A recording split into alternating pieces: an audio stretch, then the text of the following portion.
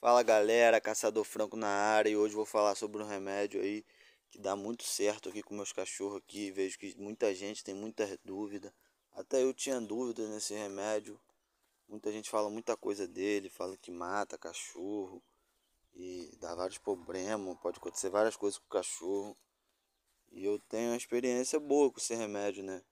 Do modo que eu uso Comigo, graças a Deus, nunca aconteceu de fazer nenhum tipo de mal pro cachorro, não. Pelo contrário, ele ajuda muito, controla praga, pulga, carrapato, tudo esse tipo de, de verme, todo esse tipo de praga que fica no cachorro. Ele não é indicado para cachorro, é para gado.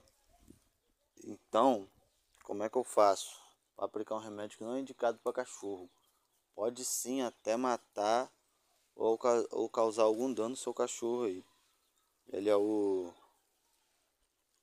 Ivomec, galera. Administra 5 centímetros.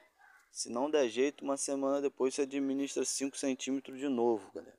Se o local não tiver inchado, nem dando uma reação, você viu que não teve jeito, você pode administrar 5 de novo. Não aconselho ninguém dar 1 ml na hora assim, em qualquer tamanho do cachorro e qualquer tipo de cachorro, que pode sim fazer mal. Galera, o local da aplicação é aqui, galera. Aplica aqui no couro aqui, entendeu?